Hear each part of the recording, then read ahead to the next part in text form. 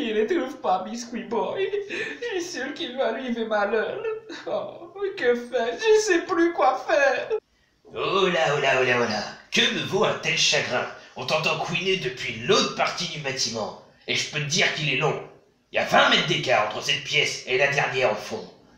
Allez, je suis sûr que ça va aller pour Biscuit Boy. T'inquiète pas. Il est costaud ce petit bonhomme. Bah, tout exagère petit, mais je pense que c'est foutu. On va les retrouver plus tard en Miette Man ou en Caca Boy Boy. Bon, ok, attends, attends, attends. Je vais te dire. Alors, la personne qui l'a prise, et je sais sur ce sûr, pour te donner un indice, hmm, il a une tête rose. Il est plutôt porté, non pas sur la bouteille, sur autre chose. Et il aime les animaux qui se mettent à quatre pattes devant lui. Hmm, Je sais pas si tu vas voir à peu près de quoi je parle, et d'avance, vu que tu me réponds toujours ça, non, c'est pas un mouton.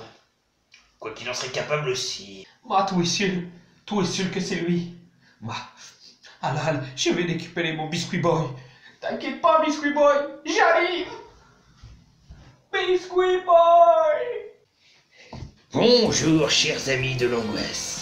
Comme vous avez pu voir, c'est dur de redonner de la motivation à un luchador qui vaut pas 2 pesos. Aujourd'hui, je vais vous présenter, ça va être encore une vidéo assez rapide, ouais, moins de 20 minutes pour moi, c'est ce que j'appelle une vidéo que j'ai fait euh, rapidement. Quelques petits achats au nombre de 6. Et je peux vous dire qu'il y a des excellents films comme de la pure merde que je vous déconseille à mort premier film que présenter en version intégrale, s'il vous plaît, excusez du c'est Hoboken Hollow. Donc dans un super petit euh, fourreau. Donc voilà, chopé à 2 euros à quelqu'un. Très sympathique. Avec Denis Super, donc euh, tout simplement un excellent acteur. Et Michael Madsen.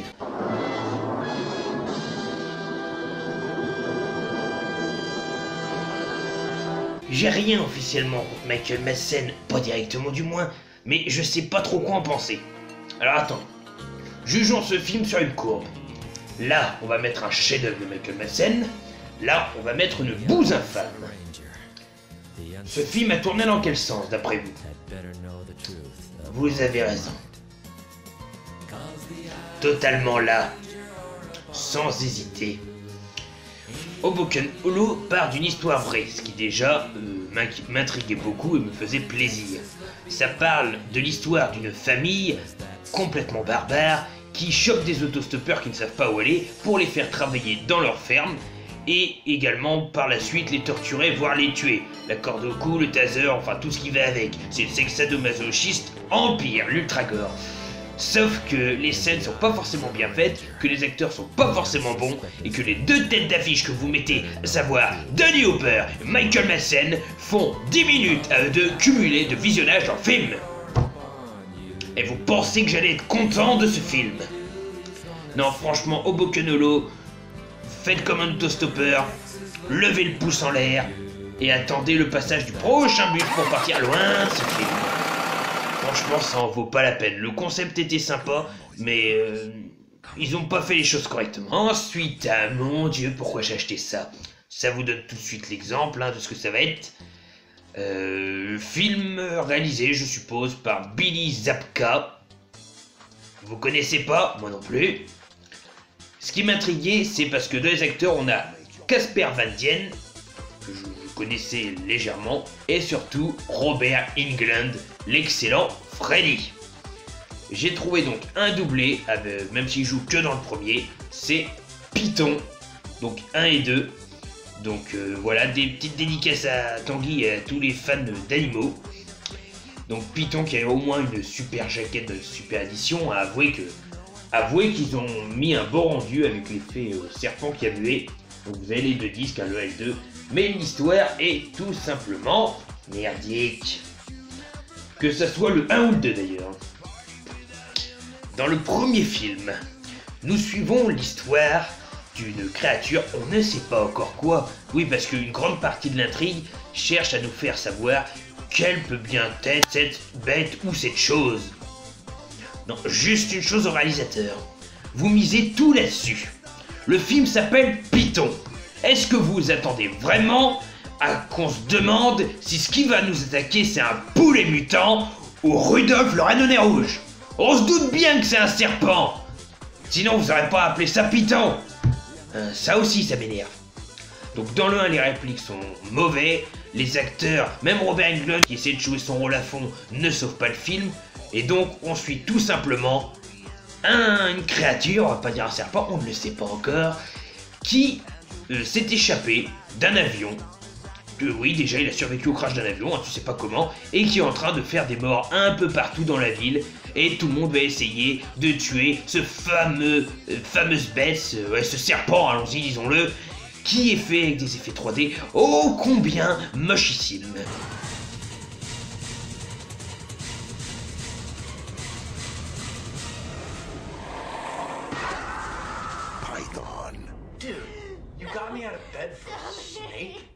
Et le 2, qu'est-ce que c'est? C'est un fameux serpent du même gabarit qui va devoir être tué parce qu'il était transporté par bateau cette fois. Et oui, on change un peu la donne et qu'il il va devoir être récupéré par la CIA et tous les ordres comme ça, avec forcément nos petits héros atypiques qui s'en sortent. C'est tellement plus mignon, c'est love. Et c'est nul. Donc Python 1 et 2, je vous déconseille ces deux films. Voici le prochain film. Il est bon et c'est pas de l'horreur. L'horreur perd tellement de place dans mon estime. C'est tout simplement le film Centurion, qui pour moi est un excellent film avec en tête d'affiche Michael Fassbender, qui joue dans 300. Également Dominic West, qui joue dans 300 aussi, je crois. Et Olga Kurilenko, qui elle, de mémoire, joue dans Hitman. Donc dans son petit fourreau, ça nous raconte tout simplement l'histoire de la 9ème Légion. Donc la 9ème Légion, dans ce film, est un groupe euh, d'armées euh, romains, donc euh, on pourrait dire une armée d'élite qui va devoir s'occuper des Pictes. Malheureusement, tout le film va se centrer sur le fait que la 9ème Légion euh, va pas réussir sa mission. Il va y avoir qu'un petit groupe de survivants et tout cela vont tenter de survivre euh, contre les Pictes qui les poursuivent tout le long du film. Franchement, les acteurs sont bons. J'ai aimé euh, les scènes de combat sont bien faites. On est dans une ambiance très froide parce que oui, bah, les Pictes, hein, c'est quand même l'Écosse. C'est pas là où il fait le plus chaud. Et on a des, bonnes, euh, bonnes scènes avec des, noms vrais, je veux dire. Il parle du mur d'Adrien, ou d'Adrienne, je sais plus trop comment on dit, et c'est vraiment un mur qui a existé. Le seul petit défaut, c'est que quand, comme moi, tu es dans l'histoire, tu prends un petit coup dans la gueule. Parce que dans l'idée, c'est la fin de la 9ème Légion. Néanmoins, pour ceux qui n'aiment pas, vous pouvez passer à la minute suivante, je vais faire court. Petite leçon d'histoire. Mon Dieu, que cette carte géographique est belle. Donc, notre 9ème Légion, normalement a été probablement, d'après nos sources, Wikipédia, levée par Jules César avant 58 avant Jésus-Christ. Non, je n'étais pas encore né. Elle a fait beaucoup de grosses prouesses. Elle a participé à la guerre des Gaules, à la campagne africaine, et donc, comme dans le film, à la campagne en Bretagne, donc euh, l'Angleterre, en 43 jusqu'à 61, où elle a subi de nombreuses pertes. Néanmoins, dans le film, elle est morte de cette guerre. En vrai, c'est pas le cas, puisque sa réelle perte s'est faite en 61 contre les pertes en Palestine. En Palestine, ça se trouve là, ils sont censés être morts là. Ils ont fait un sacré voyage, mine de rien. Et pour ceux qui ne savent pas ce que c'est que les Parthes, ce sont une troupe de guerriers de la Perse antique. Voilà. Donc imaginez un peu le trajet qu'ils ont fait, sachant qu'en général ils étaient en cheval ou à pied. Moi je les félicite. C'était la petite minute histoire pour vous dire à quel point le film Centurion est vraiment une perle. Regardez-le, il est très bon. Il nous reste trois films. Alors, un petit film que j'ai beaucoup aimé, pourtant ça, le film joue entièrement sur une romance, c'est pas ce que je préfère, c'est Warm Bodies Renaissance. Donc ce film, est très sympathique.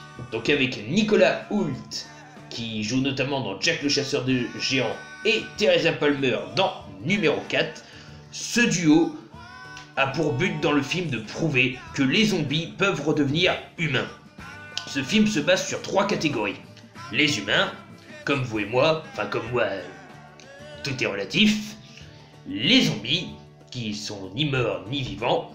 Et les osseux, une nouvelle catégorie de zombies qui pensent qu'à la nourriture et qui ont perdu toute humanité. Et à peu près toute chair aussi d'ailleurs. Avoir la peau sur les os, je pense que ça leur convient très bien comme expression.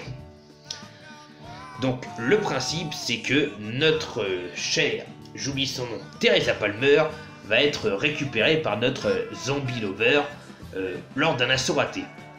De là, lui, le zombie qui a des pensées un peu plus fortes que certains de ses congénères, va réussir à apprendre à parler et à faire beaucoup de choses humaines. Et en fait, toute la relation va se passer comme ça et euh, évoluer entre les deux jusqu'à un final que je ne vais pas vous raconter.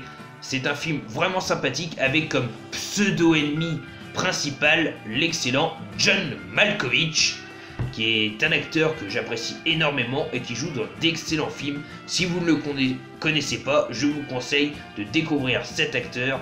Euh, alors après, les, films, il y en a trop qui me viennent en tête pour que je vous dise exactement lesquels. Je, crois qu'il joue les ailes de l'enfer. Et si je dis une connerie, merci Tom euh, d'avance de régler la chose. Donc voilà, Warm Bodies. Très sympa. L'avant-dernier film avec un duo excellent d'après une œuvre de génialissime Clive Barker avec Bradley Cooper, qui ne joue pas que dans certaines pubs pour les glaces.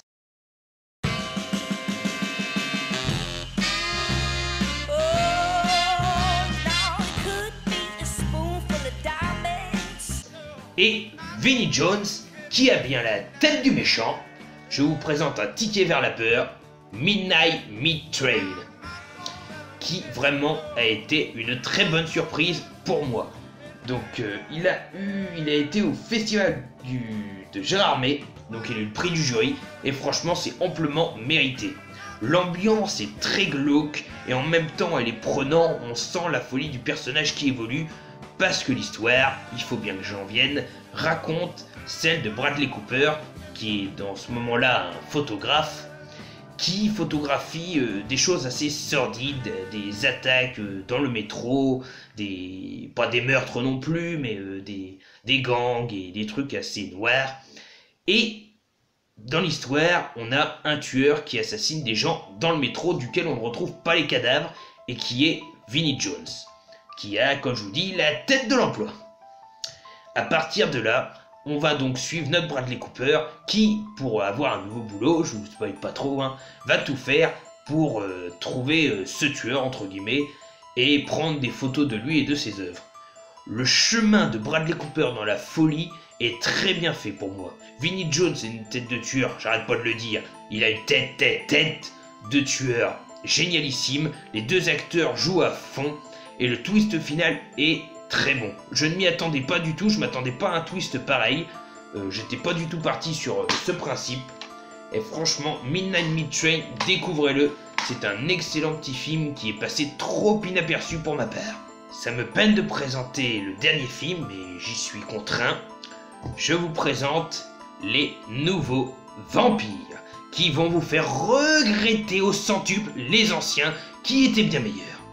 Donc les nouveaux vampires qui mettent en vedette Myron Maywick, vous le connaissez pas, tant mieux, ça changera rien à votre vie, nous présente ce, personnage qui est un docteur qui est euh, vampire sans doute dès le début et qui veut trouver un vaccin pour que les vampires puissent aller au soleil. Ouais, faire des beaux petits bains soleil, enfin ne prennent pas feu dès qu'ils passent dehors.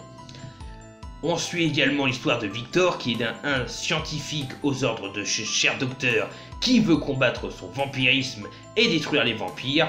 Et justement, il va aller avec eux rencontrer une femme, et puis les deux vont aider pour détruire les vampires. Histoire classique, hein, c'est même pas un spoil, on s'en doute bien des dix premières minutes. Donc les dialogues sont pas terribles, la qualité d'image est médiocre. Euh, les acteurs sont pour un part moyens, les effets spéciaux sont moyens, ce film est très très moyen, je ne vous le conseille pas. Mais en même temps, je vous le conseillerais toujours plus que Python. Franchement, Python. On se doute que c'est un python. Je veux dire, quand vous avez le mot python, ça fait référence à quoi par un serpent? Salut Goldie Merci de m'avoir cafeté auprès de Goldo Caché pour Biscuit Boy, espèce de faux frère. Mais bon, j'ai entendu que tu parlais de Python et je n'ai pas pu remarquer que tu te trompais. Il n'y a pas que le serpent en tant que Python lui-même. Sais-tu qui a une autre race? Moi aussi j'ai un sacré Python. Amen. J'aurais mieux fait de fermer ma grande gueule. Dégage un capotin, je, ne veux même pas avoir l'image en tête. Je vous souhaite à une prochaine, mes amis. Je vais laver mon esprit et mes yeux de cette image obscène. Allez, tchuss Crevez tous